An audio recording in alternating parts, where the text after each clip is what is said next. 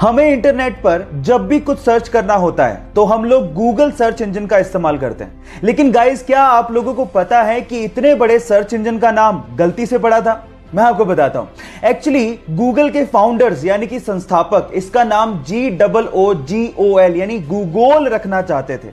लेकिन स्पेलिंग में कुछ ऐसी मिस्टेक हुई कि यह बन गया जी double O G L E जिसे हम आजकल गूगल के नाम से जानते हैं।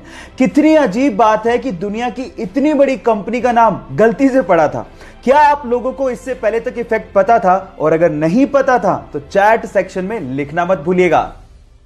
गाइस क्या आप लोगों को पता है कि भारत देश के हर सिक्के के सन के नीचे एक ऐसा निशान बना होता है, जिसे देख के आप अंदाज़ा लगा सकते हो कि सिक्का कहाँ पे ढाला गया है? जी हाँ गाइस अगर डायमंड बना हो तो यह सिक्का मुंबई में ढाला गया है। अगर डॉट बना हो तो यह सिक्का नोएडा में ढाला गया है। अगर स्टार बना हो तो यह सिक्का हैदराबाद में ढाला गया है। और अगर कुछ भी नहीं बना हो तो यह सिक्का कोलकाता में ढाला गया है। क्या आपको इसके पहले तक इफ़ेक्ट पता था? और नहीं पता था तो चैट सेक्शन में लिखना मत भूलेगा गाइस आप लोगों ने किसी भी नदी के ऊपर से गुजरते ब्रिज को तो देखा होगा। वो ब्रिज इसलिए बनाए जाते हैं ताकि नदी के एक तरफ़ से दूसरी तरफ़ तक ट्रैफ़िक को ले जाया जा सके।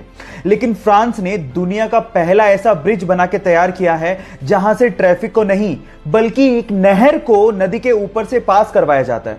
कितना अमेजिंग लगता होगा ना कि नीचे से नदी बह रही है और ऊपर के पुल से कोई स्पीड बोर्ड निकल रही है। आप लोगों को इस अमेजिंग पुल के बारे में सुनकर कैसा लगा? चैट सेक्शन में लिखना मत भूलिएगा।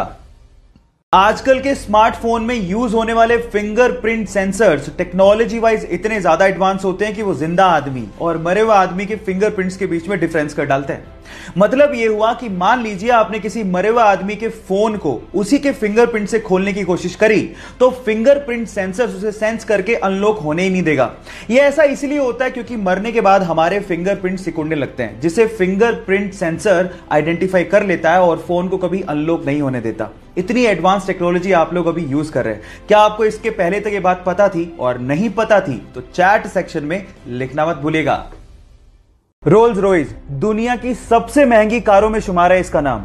लेकिन क्या आपको पता है कि रोल्स रॉयस की कारों के पहियों में लगा हुआ आरआर का लोगो पहिया घूमने के साथ कभी भी उल्टा नहीं होता? वो हमेशा सीधा रहता है। अगर आपने कभी गौर किया हो तो जितनी भी कार कंपनीज़ हैं, वो अपने कार के पहियों के बीचों बीच कार का लोगो लगाती हैं। लेकिन जैसे ही पहिया घूमता है लोगो भी उल्टा हो जाता है। लेकिन रोल्स रॉयस की कारों में ऐसा मैकेनिज्म यूज़ किया गया है जिससे कार का पहिया घूमने के बावजूद भी आरआर का लोगो हमेशा सीधा ही रहता है। इससे रोल्स रॉयस कंपनी यह संदेश देना चाहती है कि कंपनी हमेशा ऊंचाइयों और सफलता की तरफ़ देखती है। क्या ये फैक्ट आपको इसके पहले तक पता था? और नहीं पता था तो चैट सेक्शन में लिखना मत भूलिएगा। क्या आप लोगों को पता है कि टॉम क्रूज अपनी अगली मूवी की शूटिंग स्पेस में करने वाले हैं? जी हाँ गाइज़ आपने ठीक सुना स्पेस में। और ये पहली ऐसी मूवी होगी जिसकी शूटिंग रियली स्पेस में की जाएगी। और इस काम में टॉम क्रूज की मदद एलॉन मस्क की कंपनी स्पेस और नासा भी कर रही है। होगा कुछ यूँ कि स्पेस के रॉकेट से सबसे पहले लोगों को और सामान को इंटरनेशनल स्पेस स्टेशन में लेके जाया जाएगा और उसके बाद वहाँ पे शूटिंग की जाएगी। सो गाइज़ तैयार हो जाइए फ़र्स्ट एवर मूवी जिसकी शूटिंग स्पेस में होने वाली है। क्या आप लोग एक्साइटेड हैं? अगर हैं तो चैट सेक्शन में लिखना मत भूलेगा एक बार एक महिला अपने बच्चों के साथ एक ज्वेलरी शॉप पे जाती है और अपनी अंगुली से अंगूठी निकाल के सेल्समैन को देकर ये कहती है कि मुझे इसे बेचना है। तो सेल्समैन अंगूठी देखने के बाद उस महिला से पूछता है कि आप इसे क्यों बेचना चाहते हैं? तो महिला जवाब देती है कि इस वक्त मुझे पैसों की सख्त ज़रूरत है और अंगूठी बेचने के अलावा मेरे पास कोई चारा ही नहीं है। यह सुनकर सेल्समैन का दिल भर जाता है। और उसके बाद जितने पैसों की ज़रूरत उस महिला को थी, वो सेल्समैन उसे वो पैसे देता है, लेकिन आँखों से आँसू तब आ जाते हैं जब वो सेल्समैन उस रिंग को भी उस महिला को लौटा देता है।